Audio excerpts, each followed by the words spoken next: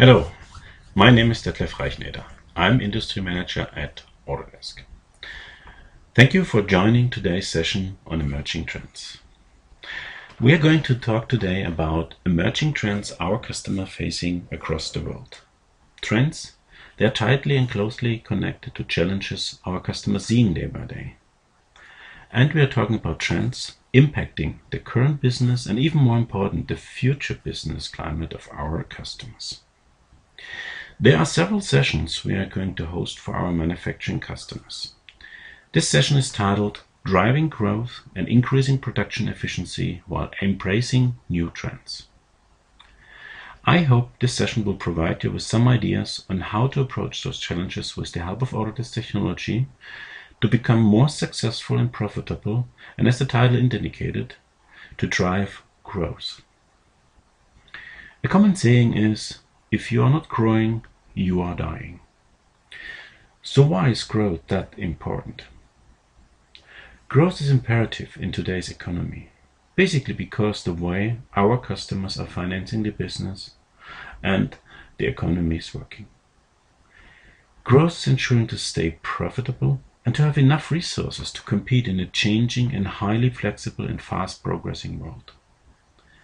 In this session, we're going to provide you with some ideas how Autodesk technology will help you to drive growth, to stay competitive, and to have a flexible production as well as to turn challenging trends in materials and technologies into an advantage, into a business advantage for you as a customer. The first trend I want to talk about is about offering highly configurable products and the challenges tied to that process. Today, customers are facing more and more highly configurable products and offerings. The complexity of those bidding projects is increasing, and with that, the implied risk. At the same time, companies need to increase the win ratio as well as to decrease the risk in technical offerings. The opportunity to convince end customers with correct and compelling offerings can increase the win ratio, and with that helping to have driving growth for the company.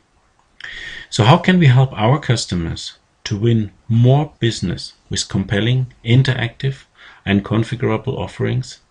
And evenly important, how to reduce the risk of complex offerings by making sure the offer is correct and according defined rules. Let's take a look at the drivers. We see external as well as internal drivers for this change. Let's start with the external ones. First of all, customers are demanding a configurable product. Customers want their own product. They want it tailored to their needs. They want the right configuration, the right option, the right accessory, colors and materials. And they want it in time. Once they decided, they want to get it immediately, or at least in a predictable time frame. Second, the possibilities are there. Today, companies can produce a given configuration in a profitable way and in a projected time frame. Modern manufacturing methodologies combined with efficient logistics and stock management makes it possible to produce and deliver a configuration within a predicted margin. Leveraging those possibilities is essential, but it needs an efficient upfront process during the bidding to ensure the downstream processes like engineering and manufacturing and logistics gets fed with sufficient and correct information. And at the same time, there is an increasing pressure from the worldwide competition. We see smaller but flexible companies emerging. They optimize their processes of bidding to manufacturing and this gives them a competitive advantage to compete with much larger and sometimes well-established companies by offering new generation customer experience. And last but not least, compliance with regulations is extremely important. It is required to be in various markets, but at the same time, it can be very costly. So let's look at the internal drivers. Those are usually coming more across as obstacles. First one, complexity of offerings. Most products and projects are extremely complex with a lot of rules and regulations. Those rules can be costing rules, engineering rules, knowledge about manufacturing, as well as external regulations like safety, health, or environmental protection requirements. The number of variants is sometimes not any more manageable, and in many cases potential variants are never produced before. Therefore, customers involve engineering in the bidding process. Engineering resources get dragged in into the creation of technical offerings. This is limiting the bandwidth of engineering and creates a bottleneck in the company. At the same time, too much of an effort is spent on lower margin standard offerings. There's often not enough bandwidth left to let engineering focus on added value work, on special high margin offerings and tailored proposals. This leads often to late or at least not in time and in worst case imprecise or even incorrect proposals. This situation can easily end up in additional unexpected costs for fixing bidding errors, and it can erode the margin in projects. As a result, customer satisfaction is lacking due to the bid timing, the overall experience, and the quality of the result. Over the last years, we have seen an evolving of the mentioned topic mass customization. It evolved from being impractical to being possible to now being re required. Customers require mass customization. So how are we going to enable our customers with Autodesk technologies to drive growth in this environment? With our offerings for sales automation, production planning, and visual configuration, we bring engineering knowledge to the point of sales. We enable a technical sales team without involvement of engineering to develop and provide correct technical offerings. Those offerings include drawings, quotations, renderings, models, walk and fly throughs, videos, and animations. Gives, this gives a revolutionary customer experience, and at the same time, it reduces the involvement of engineering dramatically. Custom examples show that this can be down to the level of a fraction of the effort before introducing sales automation. At the same time, the offerings are correct according to applied rules, and we enable our customers to reuse the data in the downstream process by creating the correct engineering or manufacturing models automatically based on the rules and the configurations. Our technology can be used as tools for internal technical sales teams as well as for external reseller channels of customers. But at the same time, it can be opened up as a web configurator for end customers, where end customers can configure and order their desired product interactively. One example is a point of sales configurator, which is used in a car dealership network to provide end customers stunning and interactive offerings of their configurations. Customer gives us matrix about benefits like time savings in the bidding process from days to hours, savings of engineering time by up to 80%, and an increase in bid precision of 10 times more than before automation. And with that, back to the topic of growth, customers are using sales automation are seeing an increase in the win ratio, and with that, a growth of the business. Not just because of the sheer amount of offerings a sales team can generate now, but evenly important because of the quality and the precision of offerings. So if your company has configurable complex products, if you're facing complex technical bidding processes, if your engineering team gets dragged in into standard proposals, let's start a discussion on how our technologies can help you to improve your processes. Let's take a look at the second trend, enabling manufacturing for growth and change. In today's global environment, companies need to set up their production as flexible as possible and at the same time as efficient as possible. We did talk about growth and configurable products during the first section of this presentation. Increasing growth means increasing the needed production rate. At the same time, the lifespan of products is decreasing and the product complexity is increasing. Customers are facing challenges in the setup of new production lines. the transfer of productions from one location to another, or even simply the transfer of knowledge between locations with the same production. Enabling manufacturing planning to be efficient and being able to handle the growth potential is key. Today, production planning tends to be a question of experience of a few very skilled people. Customers lack a real broad insight into the situation of the factory. We see the vast majority of planning is done in 2D as a result of the availability of easy-to-use 2D tools. At the same time, customers facing issues due to the use of 2D tools in production planning.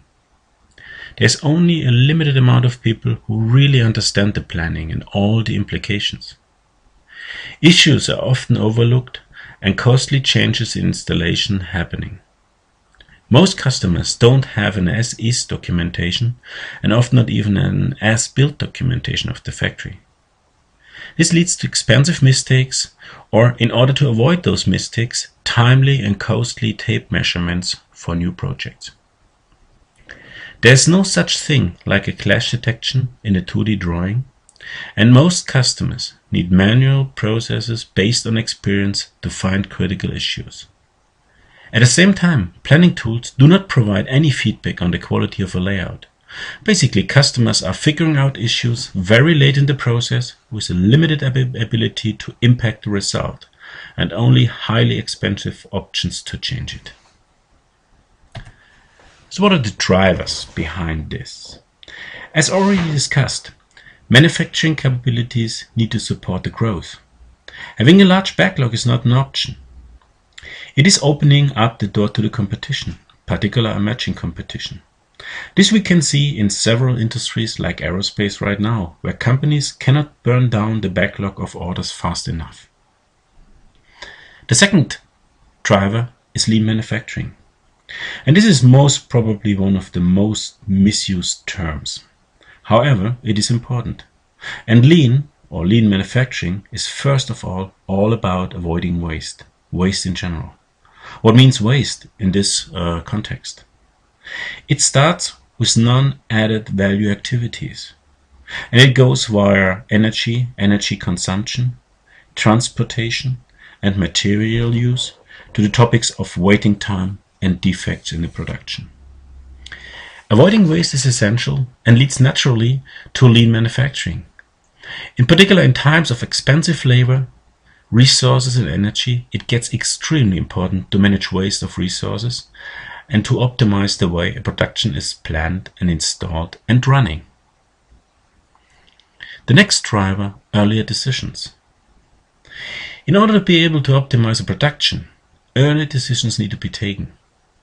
What's preventing customers from doing that? It is basically the availability of enough information and the time in the process where customers today look at the optimization and simulating a layout. Due to the very complex system used here, customers either avoid the simulation or only do it late in the process and at a minimum.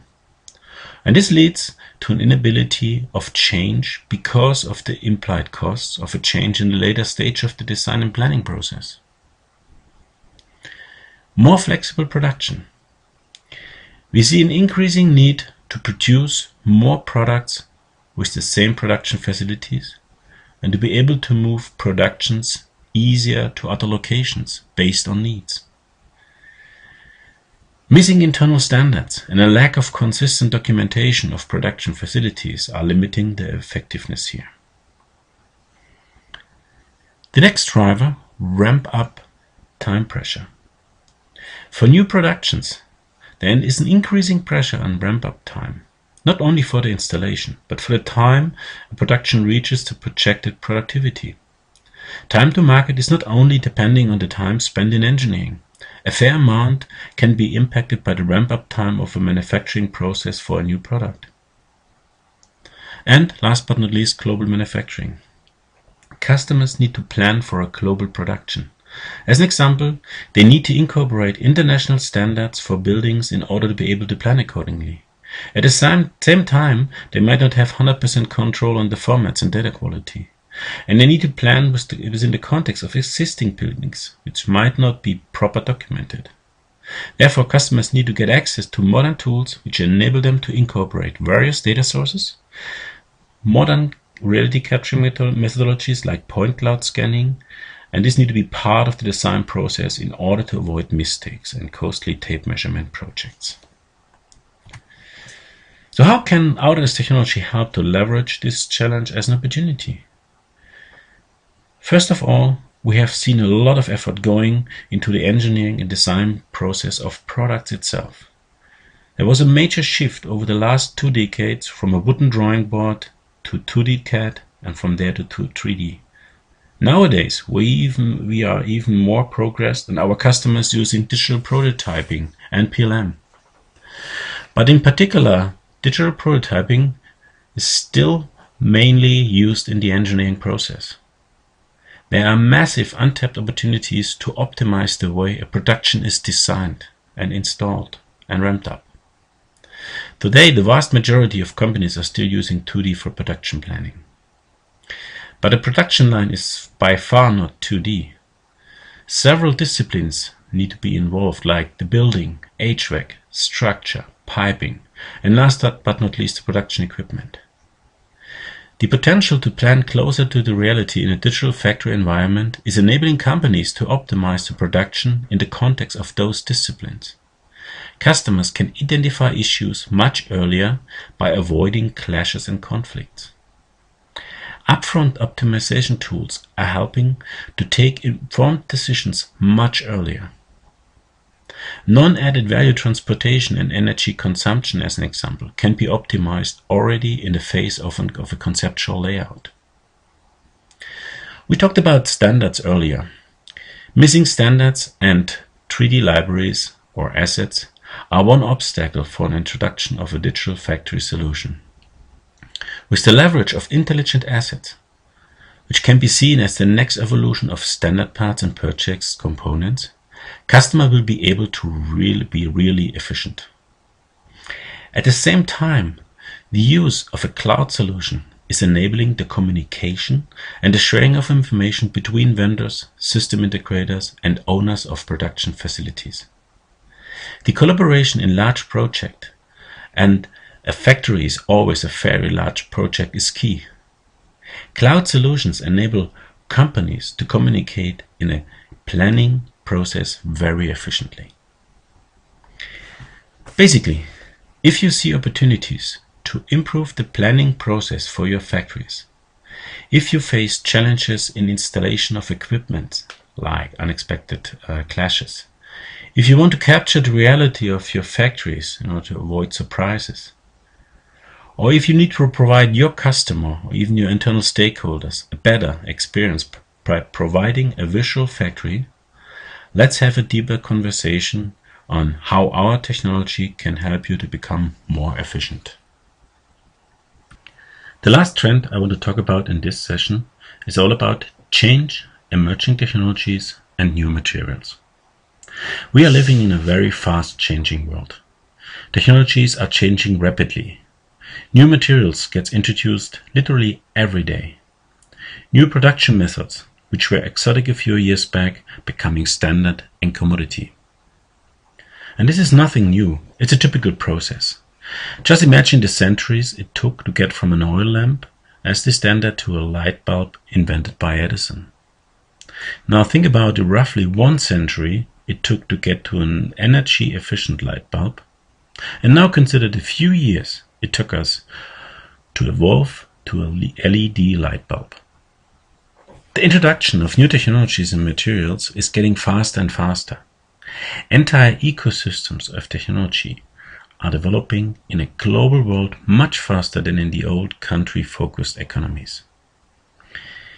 We see knowledge shifting and some knowledge disappearing, while new knowledge is developing.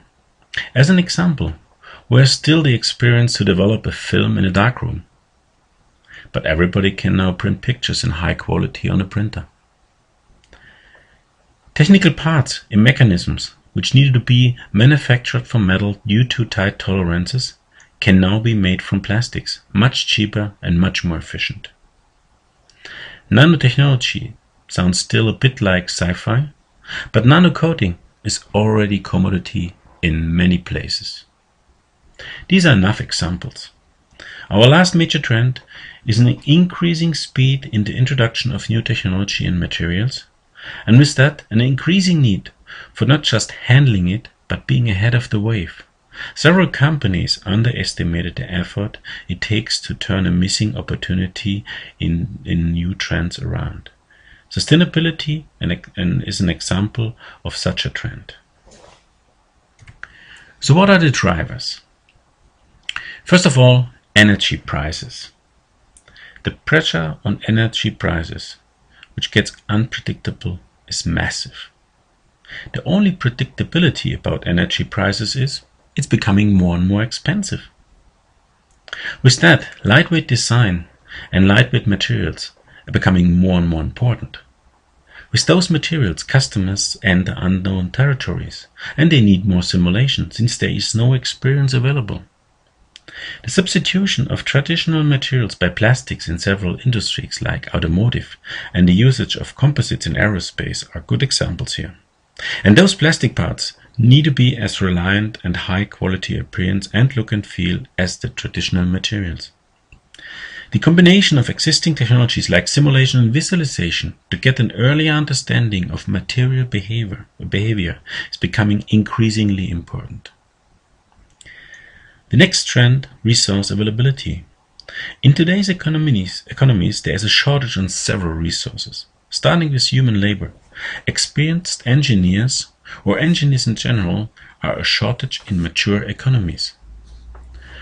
Providing ease of use tools and integrated simulation helps less experienced resources to achieve great results. Talking about materials and elements, several elements like rare earth elements are heavily used by several industries in some products. But there is already an existing shortage which requires the recycling of existing products containing these elements. And this, as an example, makes recycling for several products all of a sudden very profitable and very interesting. Sustainability. Whoever believes sustainability is nice to have is missing the fact that sustainability is now required. It evolved from being possible to now being required. The awareness of customers about sustainability is high and still increasing. Sustainability considerations are already part of many, many purchasing decisions. And sustainability spans products as well as production facilities. It has an impact all over the manufacturing process from design, engineering to manufacturing. New materials. There is an increasing amount of new materials with various properties every day. Customers need to find ways to keep up with the information about new materials regarding their mechanical properties, as well as the eco-impact like carbon footprint, water and energy consumption in production of those materials, as well as recyclability. And customers are actively considering the impact of used materials for decisions. Design. Design matters. This is not new, and certainly nothing surprising. What is new is that customers start to use completely new technologies in order to achieve their design ideas. So basically, now technologies like 3D printing leads to a complete new way of styling and new product possibilities. Technologies like composites not just layering composites, which are hard to mass produce, give companies an ability to achieve new designs with the same or even higher performance compared to traditional materials. And differentiation, last but not least. This is getting more and more important. Companies need to differentiate themselves by innovation, by design, by new technologies and materials. Competitors are getting closer. Competition from emerging countries are delivering outstanding quality in the meantime. Cheap and low quality still exists, but most of the traditional low-end competitors close the gap. New ways of differentiation is needed to stay ahead. So how can Autodesk technology help to turn the challenge of new technologies and materials and the need for sustainability into an advantage? New stunning designs are supported by our technologies. We enable customers to design without limits. And at the same time, we make sure that designs are not just appealing designs. We can provide early analysis on sustainability, manufacturability, and behavior. Virtual wind tunnel test as an example. Very early designs can be optimized. We can optimize the energy consumption of, of vehicles in this way. Workplace light analysis helps to optimize the working environment and helps saving energy costs at the same time. An analysis on solar radiation in combination with the airflow gives a better understanding on the needed heating and ventilation in factories. Simulation and analysis on new materials is supported by our own material lab, which provides best results for our simulation tools. And together with Granta, we provide the Eco Material Advisor, which helps companies to optimize the impact on a certain material mix in products.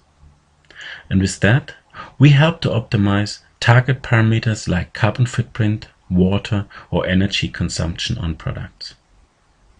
This helps you as a customer to approach new technologies and materials as an opportunity and not as a challenge, which can give you a competitive advantage. If you face the challenge of new technologies and materials, if new design concepts are challenging your product behavior, or if your customers are requiring reports on the environmental impact of your products, then let's start a more detailed discussion on how we can help with our technologies to turn all this into an advantage for you as a company. As a company, we have a very broad portfolio. So we are basically encouraging you to take a look at our solutions.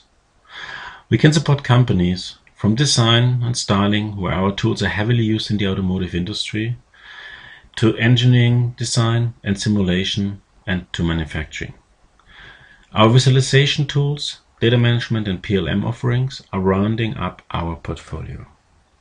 With this, we help our customers to drive growth, to be more efficient in engineering and manufacturing, and to be successful in a changing world. I would like to thank you for your attention during this session.